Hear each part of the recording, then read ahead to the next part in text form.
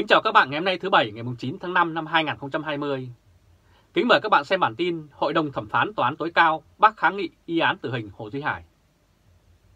Chiều ngày 8 tháng 5 năm 2020, Tòa án Giám đốc Thẩm đã bác kháng nghị, nghĩa là hy vọng về con đường sống cho Hồ Duy Hải vừa lé loi, hé lộ đã bị dập tắt.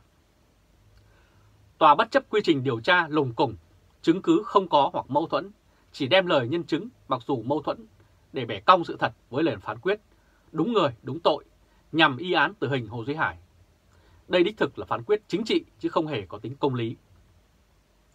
Phiên giám đốc thẩm này chính là phiên tòa vạch trần thực trạng một nền tư pháp không còn hy vọng. Đó là bình luận của nhà báo Bạch Hoàn trên trang Facebook cá nhân với trên 200.000 người theo dõi. Đây là hình ảnh bà Nguyễn Thị Loan, mẹ của Hồ Duy Hải bên ngoài của tòa án, đang gào khóc trong tuyệt vọng sau khi biết phán quyết của tòa giữ nguyên án tử hình cho con trai mình. Tôi vừa xem clip em gái Hồ Duy Hải khản tiếng kêu oan cho anh trai mình. Chiều nay, sau khi tòa tuyên án, tất cả những gì còn lại trong tôi là cảm giác tim mình thắt lại. Mạng người rất mong manh, công lý xa vời, đau cho thân phận con người, đau cho một xã hội thiếu vắng công lý. Khi nguyên tắc trọng chứng hơn trọng cung bị gạt bỏ, nguyên tắc suy đoán vô tội bị tước qua đi, thì bất kỳ người mẹ nào cũng có thể sẽ phải khóc như thế. Tiếng khóc của mẹ Hồ Duy Hải hôm nay bất kỳ cô em gái nào cũng có thể phải kêu gào thảm thiết như em gái của Hồ Duy Hải hôm nay. Tương lai nào trong một đất nước mà ở đó công lý đã bị mù loa là một câu hỏi được đặt ra. Đất nước này nhìn vào những gì đã xảy ra hôm nay thực sự đã tuyệt vọng rồi. Vụ án bưu điện cầu voi xảy ra vào tháng 1 năm 2008 và Hồ Duy Hải đã bị bắt giữ. Khi ấy, ông Nguyễn Hòa Bình là Phó Tổng cục trưởng Tổng cục Cảnh sát, Phó Thủ trưởng Cơ quan Điều tra Bộ Công an sau khi bị tòa tuyên án tử hình, gia đình Hồ Duy Hải liên tục kêu oan.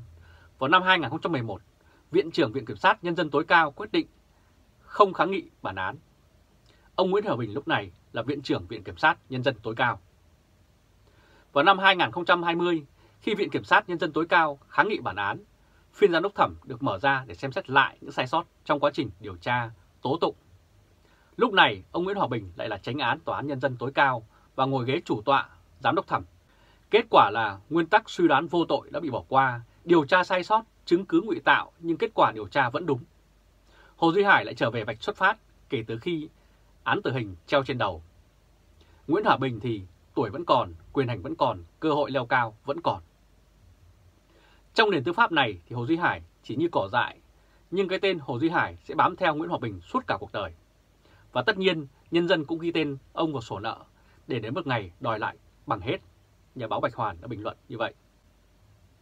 Đây là hình ảnh ông Nguyễn Hòa Bình từng là Phó Thủ trưởng Cơ quan Điều tra Bộ Công an, Viện trưởng Viện Kiểm sát, Viên Nhân dân tối cao và đây là tránh án Tòa án Nhân dân tối cao. Trước đó, Hội đồng Thẩm phán biểu quyết từng nội dung cụ thể, chủ tọa phiên giám đốc thẩm của Hội đồng Thẩm phán Tòa án Nhân dân tối cao, ông Nguyễn Hòa Bình đã lấy biểu quyết từng vấn đề cụ thể. Thứ nhất, vụ án đã có những sai sót về tố tụng như đã nêu, những sai sót đó có làm thay đổi bản chất của vụ án hay không.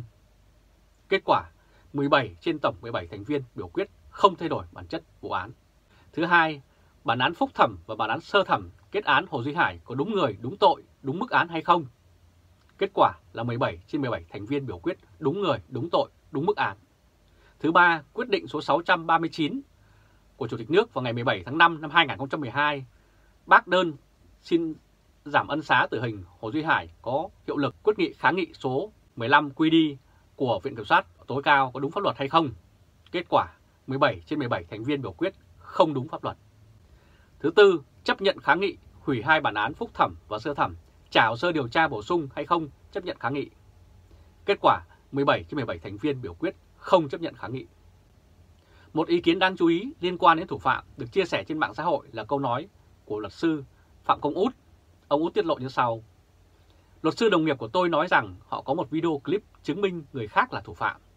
Như vậy, nếu clip đó có thì nó phải nằm ở trong một camera an ninh nào đó nhưng đã bị thu giữ. Trong clip đó có thể không phải là Hồ Duy Hải.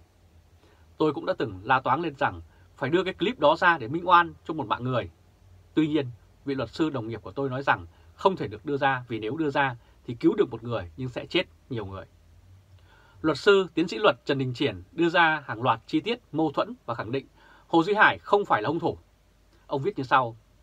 Tôi đặc biệt quan tâm đến biên bản phiên tòa khi hội đồng xét xử đặt câu hỏi anh không đến bưu điện hôm đó, tại sao trong bản tự khai và lời khai tại cơ quan điều tra mà anh tả rõ từ cái thớt, con dao, con gấu bông, hoa quả vân vân. Hồ Duy Hải đều im lặng và không dám nói ra sự thật.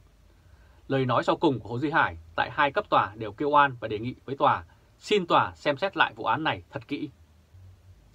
Đây là hình ảnh bản kết luận giám định số 158 KE PC21 vào ngày 11 tháng 4 năm 2008 của Phòng Khoa học Hình sự Công an tỉnh Long An ghi các dấu vết vân tay thu được tại hiện trường vụ án ngày 14 tháng 1 năm 2008 tại bưu cục Cầu Voi không phát hiện trùng với điểm chỉ của 10 ngón tay in trên chỉ bản của Hồ Duy Hải. Kết quả giám định vết máu trên hiện trường cũng không phải là của Hồ Duy Hải. Những lần thăm gặp Hải đều đề nghị gia đình ra Hà Nội kêu oan cho Hải. Trong đơn trình bày của bà Nguyễn Thị Loan, mẹ ruột của Hải, và bà Nguyễn Thị Rưỡi, dì ruột của Hải trình bày, những lời nhận tội của Hải là do bị sắp đặt và hỏi Hải đã bị đánh. Đánh nhiều đến nỗi không đi được, phải có người dắt hai bên tại thời điểm trước khi xét xử phúc thẩm. Hải không dám nói rõ điều này bởi vì đang bị giam tại trại giam công an tỉnh Long An, nên nếu nói ra thật thì sợ sẽ bị hành hạ. Về dấu vân tay, dấu dép và dấu máu thu giữ tại hiện trường, theo kết luận điều tra, cáo trạng bản sơ thẩm và phúc thẩm thì thời gian Hồ Duy Hải đến bưu điện cầu voi vào lúc 19 giờ 30 phút. Khoảng 20 giờ 30 phút thì Hải giết Hồng và Vân. Trong khoảng thời gian 1 giờ ngồi nói chuyện với Hồng và Vân, Hồng rót nước mời Hải, Hải đưa tiền cho Vân đi mua hoa quả. Hải nảy sinh ý định quan hệ tình dục với Hồng, dẫn đến xô sát giết Hồng. Rồi khi Vân đi mua hoa quả về, sợ bị bại lộ nên giết cả Vân để che giấu. Nếu sự thật diễn ra như vậy thì Hải không có dự mưu, toan tính từ trước để giết Hồng và Vân để cướp tài sản. Đồng thời, quá trình đó Hải sẽ lại để lại rất nhiều dấu vết vân tay trên các cốc nước uống, trên bàn, ghế, cửa, chậu và cần gạt nước trong nhà vệ sinh, vết giày dép, vân vân. Khám nghiệm hiện trường thu giữ các vết vân tay trên cửa kính, ra vào, cửa nhà vệ sinh, đặc biệt là dấu vân tay trên cần gạt nước mà các kết luận của cơ quan điều tra tố tụng đều ghi nhận là hai lần Hải vào rửa tay, rửa dao và rửa tay, nhưng kết quả giám định kết luận tất cả các dấu vân tay thu giữ tại hiện trường không phải là dấu vân tay của Hồ Duy Hải. Và dấu dép thu giữ tại hiện trường cũng không phù hợp với dép mà Hải đi hôm đó. Các dấu vết máu thu giữ tại cửa nhà, sau và nhà vệ sinh tại hiện trường hơn 5 tháng sau mới được trưng cầu giám định lại tại viện thuộc ờ, phân viện khoa học hình sự Bộ Công an tại thành phố Hồ Chí Minh. Câu hỏi lớn được đặt ra vấn đề này là cần được làm sáng tỏ là phải chăng những vết máu này đã được giám định từ trước cho kết quả không phải là vết máu của Hồng và Vân và Hải. Bản án sơ thẩm đã ghi như sau, vết máu thu giữ tại hiện trường khi giám định không phải là của bị cáo. Như vậy là đã có giám định từ trước, giám định đó hiện ở đâu, không có trong hồ sơ vụ án. Câu hỏi này được đặt ra. Đây là hình ảnh bài báo trên báo Công an Nhân dân vào ngày 16 tháng 1 năm 2008 với tựa đề Vụ hai nhân viên bưu điện bị giết, nghi can là bạn trai của nạn nhân. Bài báo có đoạn viết như sau, nghi can chính là Nguyễn Văn Nghị, ngụ tại huyện Cai Lậy, Tiền Giang, có dấu hiệu nghiện ma túy. Nghị là một trong hai bạn trai của nạn nhân Nguyễn Thị Ánh Hồng. Vào đêm xảy ra vụ án, người dân địa phương thấy Nghị đi xe máy đến bưu điện cầu voi gặp Hồng và Vân. Điều đó khẳng định là tại hiện trường có vết máu của hung thủ do quá trình xô sát bị thương để lại, không phải là Hồ Duy Hải. Tại sao không giám định tại phòng khoa học hình sự công an tỉnh Long An và bệnh viện đa khoa Long An như các giám định khác trong vụ án, mà để hơn 5 tháng sau mới đưa lên Bộ Công an giám định? Do mẫu vật để lâu, không bảo quản tốt nên bị phân hủy, không giám định được. Câu hỏi được đặt ra. Đây là một trong những chứng cứ vô cùng quan trọng để kết luận vụ án kẻ nào là hung thủ giết Hồng và Vân, nhưng đáng tiếc là từ kết luận điều tra, cáo trạng và hai bản án đều bỏ ra ngoài hoặc phớt lờ, đánh giá qua loa, đại khái, và có dấu hiệu tạo dựng chứng cứ gấp lửa bỏ tay người. Về con dao được cơ quan tiến hành tố tụng xác định là hung khí, trong biên bản khám nghiệm hiện trường không có ghi nhận việc phát hiện và thu giữ con dao. Sau khi có kết luận giám định tử thi có vết cắt ở cổ, bắt đầu mới có kế hoạch tìm kiếm con dao được manh mối, tạo lập bởi các nhân chứng là sau khi khám nghiệm xong hiện trường họ được thuê làm vệ sinh, dọn dẹp lại trụ sở bưu điện. Họ đã phát hiện một con dao có báo cho công an xã nhưng không thấy nói gì nên họ đốt mất rồi. Tức là vị trí con dao cũng được khai báo không giống nhau. Họ tưởng tượng ra hình thù, loại, màu sắc, kích cỡ và xin nói thêm là những yếu tố này khai báo khác nhau của nhân chứng của Hải. Và hình ảnh con dao lấy thêm lời khai của nhân chứng và đi mua con dao khác tương tự để làm vật chứng vụ án. Mặt khác, những người dọn dẹp hiện trường đã phát hiện một vỏ bao màu vàng đựng dao còn mới tại hiện trường thì tình tiết này đã bị dập đi không điều tra. Về cái thớt được dùng làm chứng cứ thì như sau? Sau khi giám định tử thi kết luận có những dấu hiệu khác ngoài việc sử dụng con dao, trong biên bản khám nghiệm hiện trường có ghi nhận có một cái thớt tròn bằng gỗ tại hiện trường nhưng không thu giữ vật chứng. Từ đó cho nhân chứng đi mua cái thớt gỗ tương tự về làm vật chứng. Còn về cái ghế được sử dụng làm vật chứng tại tòa, hơn 2 tháng kể từ ngày khám nghiệm hiện trường, cơ quan điều tra mới tiến hành thu giữ một cái ghế inox tại bưu điện. Đến ngày 10 tháng 7 năm 2008, tiến hành cho Hải nhận diện, tòa án và chủ tọa đưa chiếc ghế cho Hải xác nhận và Hải xác nhận đúng là hung khí Hải dùng để đập vào đầu Vân. Đây là hình ảnh toàn cảnh phiên xét xử giám đốc thẩm. Tuy nhiên so sánh đặc điểm của hai chiếc ghế là hoàn toàn khác nhau. Chiếc ghế trong biên bản khám nghiệm hiện trường ngày 14 tháng 1 năm 2008 là khi xếp ghế lại có chiều cao là 0,98m. Tem bảo đảm bảo chất lượng bị rách mất một góc nhỏ ở bên phải phía dưới, mã số là HPN 2447052. Chiếc ghế trong biên bản tạm giữ đồ vật vào ngày 25 tháng 3 năm 2008 và đưa ra tại tòa là khung ghế chiều cao 67cm, khoảng cách từ lưng đến đệm ngồi 25cm, từ đệm ngồi xuống đất 45cm, tem bảo đảm chất lượng hòa phát, mã số HPM244705 Với những hành vi này đủ để xem xét trách nhiệm của các cá nhân trong các cơ quan tiến hành tố tụng của vụ án này. Hồ Duy Hải đã không có mặt tại bưu điện. Đây là chứng cứ minh oan ngoại phạm vô cùng quan trọng cho Hồ Duy Hải. Theo kết luận điều tra, cáo trạng và hai bản án thì Hồ Duy Hải đến bưu điện Cầu Voi vào lúc 19 giờ 30 phút và giết chết Ánh Hồng và Thu Vân vào khoảng 20 giờ 30. Nếu theo kết luận này với chứng cứ ở trong hồ sơ vụ án đủ để chứng minh Hồ Duy Hải là ngoại phạm, cụ thể như sau. Thứ nhất, cơ quan tiến hành tố tụng đã bỏ ngoài các kết luận những chứng cứ vô cùng quan trọng khác như lời khai của anh Hồ Văn Bình khẳng định khoảng 19 giờ ngày 13 tháng 1 năm 2008, tôi gửi xe ở cầu Voi, lúc này bưu điện đã mở đèn sáng. Tôi nhìn vào phòng khách thấy một thanh niên ngồi trên ghế nói chuyện với Hồng. Tôi đi qua nhà anh Mẫn độ khoảng 10 phút và khoảng 19.30 tôi đến bưu điện bưu cục lấy xe vẫn thấy Hồng và thanh niên trên còn ngồi đó nói chuyện. Điều đáng lưu ý ở đây là có một thanh niên đến bưu cục ngồi tại phòng khách nói chuyện với Hồng vào lúc 19 giờ. Lời khai của anh Đinh Vũ Thường như sau. Tôi ghé bưu điện cầu voi và gọi điện thoại, thấy một người thanh niên và một người phụ nữ ngồi ở ghế salon. Cuộc điện thoại này, tức là điện thoại ở buồng của bưu điện cục này, xác định anh Thường gọi vào lúc 19 giờ 39 phút. Anh Hồ Văn Bình và anh Vũ Đình Thường cùng đến bưu cục vào hai thời điểm khác nhau nên không gặp nhau.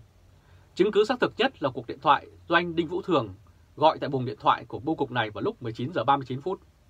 Điều đó khẳng định người thanh niên nói chuyện với Hồng phải là lúc 19 giờ.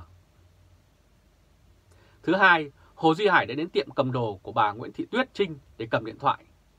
Tại đây, Hải gọi điện cho anh Võ Lộc Đang lúc 19 giờ 13 phút, 39 giây theo bảng kê của điện thoại. Như vậy, Hải có mặt tại tiệm cầm đồ từ khoảng 19 giờ 14 phút cho đến 19 giờ 30 phút. Đây là hình ảnh các cáo trạng được ghi ngược với lời khai của nhân chứng. Nhân chứng Đinh Vũ Thường ghi lời khai rằng không nhìn rõ khuôn mặt của người thanh niên, không thể nhận dạng chính xác. Thì trong cáo trạng viết, nhân chứng Đinh Vũ Thường phát hiện thấy bị can Hải ngồi trong bưu điện nơi xảy ra vụ án lúc 19 giờ 39 phút. Mà khoảng cách từ tiệm cầm đồ của gia đình bà Nguyễn Thị Tuyết Trinh đến bưu điện Cầu Voi là 7,5 km, đoạn đường khó đi, nhiều nơi không có đèn đường và phải đi qua cầu. Trên đường về, Hải qua nhà đổi xe Way để lấy xe Dream, chạy đến quán Bảy Thanh, đưa tiền thua cá cược bóng đá cho Võ Lộc Đang. Đang đếm tiền và cho vào túi rồi nhờ Hải trở đến quán Hai Thượng. Đang xuống xe còn Hải thì đi đến bưu điện cầu voi, đó là nội dung của các kết luận cơ quan điều tra tố tụng. Như vậy khoảng 19 giờ 30, Hải đang có mặt ở tiệm cầm đồ. Từ tiệm cầm đồ đến bưu điện cầu voi khoảng cách 7,5 km, đường khó đi. Đồng thời còn làm bao nhiêu việc khác như về nhà đổi xe máy, đến quán Bảy Thanh trả tiền cho Đang, chở Đang đến quán Hai Thường rồi mới đi đến bưu điện cầu voi. Tổng thời gian như vậy nếu đi nhanh thì khoảng 20 phút. Thì khoảng 20 giờ Hồ Duy Hải mới có mặt ở bưu điện cổ voi. Trong khi đó, lời khai của nhân chứng Hồ Văn Bình và Đinh Vũ Thường là lúc 19 giờ đã có chiếc xe máy để ở trong sân bưu điện và có một người thanh niên ngồi ở bàn salon nói chuyện với cô Hồng. Đó là chứng cứ khách quan, không chỉ lời khai của nhân chứng mà còn thể hiện chính xác thời gian cuộc điện thoại, thời gian cầm đồ, thời gian trả tiền cho Đang và độ dài quãng đường. đủ căn cứ chứng minh người thanh niên có mặt tại bưu điện Cầu Voi là người khác chứ không phải là Hồ Duy Hải. Luật sư, tiến sĩ luật Trần Đình Triển đã đưa ra kết luận của mình như vậy. Các bạn vừa theo dõi chương trình truyền hình trực tiếp của Lê Trung Khoa Thời báo chấm ngày hôm nay thứ Bảy ngày 9 tháng 5 năm 2020 với bản tin Hội đồng thẩm phán Tòa án tối cao bác kháng nghị y án tử hình Hồ Duy Hải. Các bạn hãy chia sẻ video này cho nhiều người biết và bấm nút theo dõi YouTube và Facebook của Thời báo.de để luôn nhận được những bản tin mới nhất, nhanh nhất và trung thực nhất. Từ Berlin, Cộng hòa Liên bang Đức, chào các bạn và hẹn gặp lại các bạn vào bản tin lần tới. Trung Khoa, Thời báo.de